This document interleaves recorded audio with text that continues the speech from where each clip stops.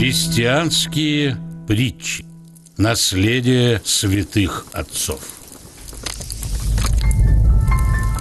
Монах и монахиня.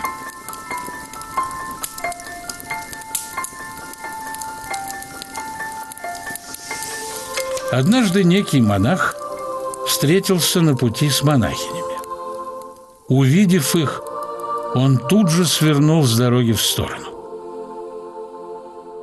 Тогда настоятельница монахинь сказала ему,